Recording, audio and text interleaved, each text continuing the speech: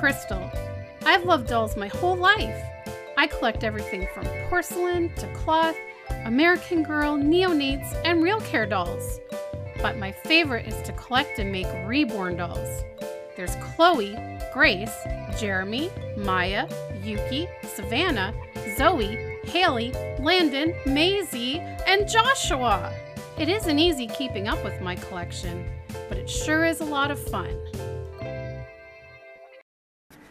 Hi guys, so I'm here to give you a quick doll show update. Um, and if you're not sure what I'm talking about, um, I will link to the video where I first talk about this upcoming doll show in Canada coming up in the spring.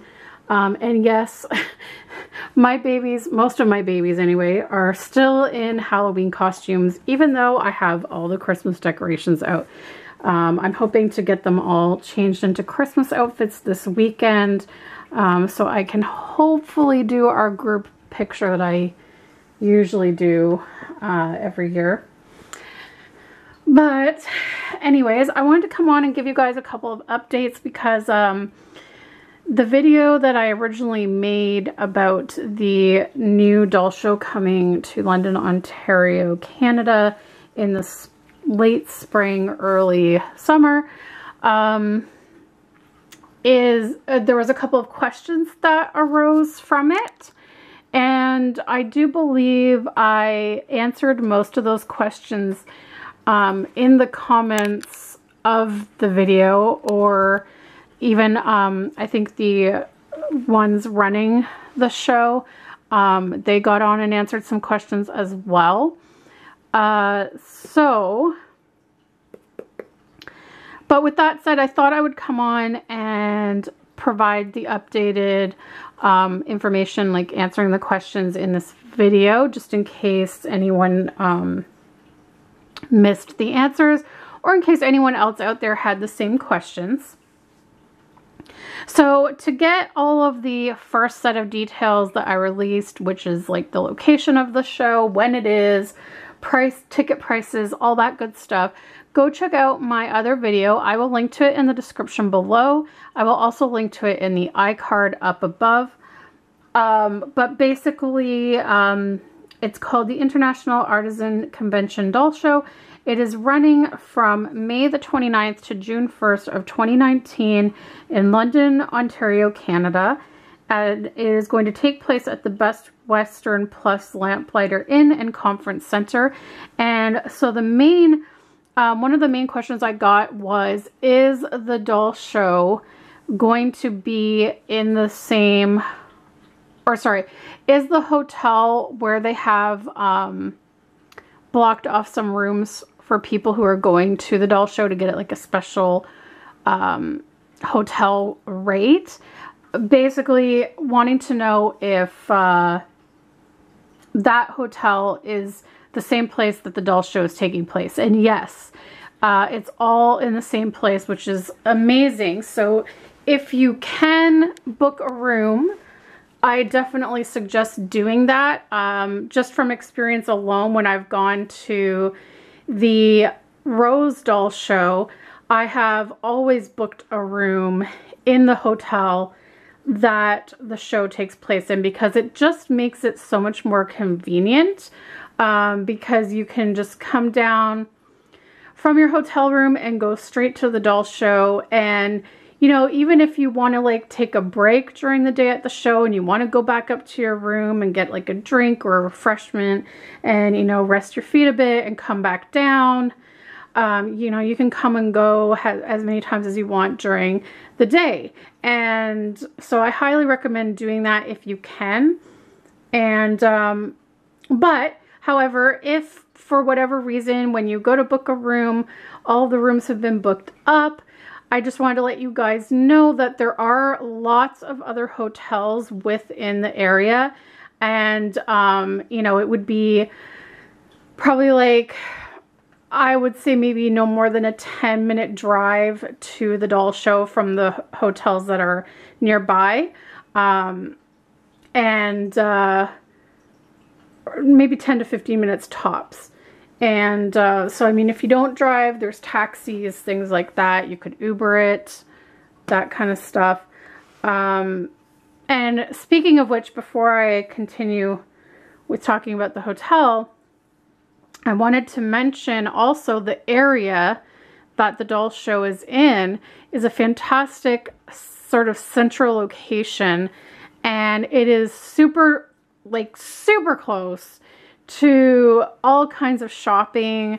So, you know, for us um, that collect reborn dolls, if you like to go shopping for baby clothes, so, you know, say you didn't want to go to the doll show one of the days, one of the three days, um, or in the evening if you wanted, there is a Carter's nearby, like I would say less than five minutes away. Um, there's a Carter's, there's a Dollar Tree, which I'll just tell you guys right now, the Canadian Dollar Trees are not as good as the US, but uh, alas, there is a Dollar Tree. Um, there is also Once Upon a Child, all kind of within the same little area. And then just kind of like up the road from there, um, maybe like a half a block or a block up from there, are um, lots of different little restaurants there's also a mall that has a Walmart and a whole bunch of other stores in it. So, you know, so if you're staying for a few days, you want to go down to Walmart and get some groceries so that you have like some snacks and drinks in your hotel room. It's conveniently there. So it's a fantastic location because everything is so accessible and so close by. So like I said, I definitely recommend if you can get a hotel room in the actual Lamplighter Inn where the doll show will be held so you can come and go. Um, but like I said, if you can't, there are plenty of hotels within that same area. So, and we've stayed at some of them before and they're all really nice and they have really good rates as well. Um, so yeah, the doll show itself, like I think from May 29th, starting May 29th is classes. So it's basically only the last three days of that, of those dates, like May 29th to June 1st, is the last three days of that, the, the actual doll show is open, like the show floor where you can go shopping. Uh, but like I said, go check out my previous video because I go into that in a lot more detail. So getting on to some other questions that were asked. So people were asking how to book a hotel getting the doll show special rate. Um, because they were saying like some of them had gone to the website to try to, they've gone to the doll show website and they went to the, um, whatchamacallit, they went to the accommodation page and they couldn't find how to go about booking with a special show rate. So I just wanted to answer that question and they have actually since this question has been presented, they have since updated the accommodation page to explain how to do that. But I will also explain it here. So it's actually quite easy um, on that accommodation webpage, they give you a 1-800 phone number to reach the front desk of the hotel. And you will have to call them and say that you would like to book a room for X amount of nights, whatever, however many nights you're planning to stay.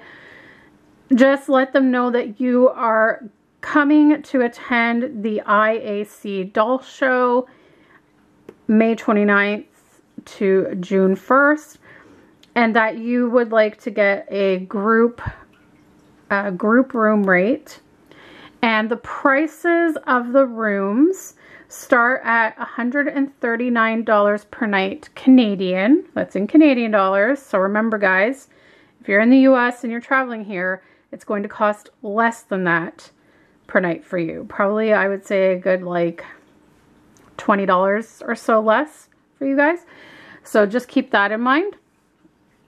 Um, also, there is a restaurant located in the hotel.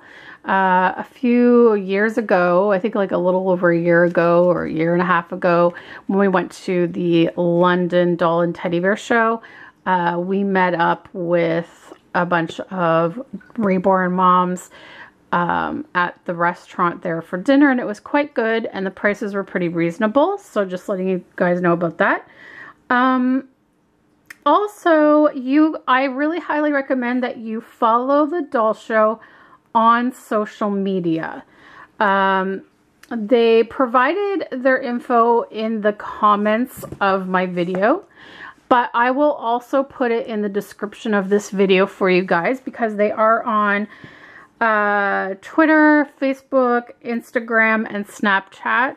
Um, so I'll put that information in the description below for you guys to find. And I highly recommend that you follow them on whichever social media you have because that way you will be updated on everything that's going on with the show and get all of the information you will need. Um, okay, then the next thing I wanted to talk about is also, they mentioned in the comments of the videos, which this I did not know this, uh, they are hoping to take this road, this road, this show on the road. Sorry guys, I cannot form sentences today for some reason. Okay, I call that lupus fog they want to take the show on the road in the future. Obviously, they don't know when or where or what the plans are, but they do hope to do that in the future. So, like I said, again, make sure you follow them on social media because then you will be up to date on if they are going to be holding the show in other locations in the coming years. Um, and then finally, I had the question of, is the showroom floor wheelchair accessible, and yes, it is. Um, they had commented that they saw some videos where it looked like things were really crowded and cramped in the aisles, and I just wanted to say um, that was not the case at the last London Doll show we went to in October because they had that doll show at the same location that this doll show is going to be at and it was a much larger space. So they were able to make the aisles a lot more wide and spacious. So I really didn't feel like you know people were like bumping into each other there.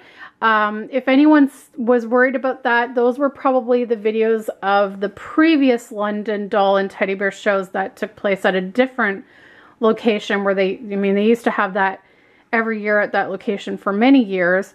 And it was very small and very tight space. And the way that they set it up was not the best setup. Uh, it did not leave an, a lot of room in the aisles and that was why that doll show uh, in particular had said no strollers for reborn dolls. Um, the only strollers that would be allowed were ones for real children.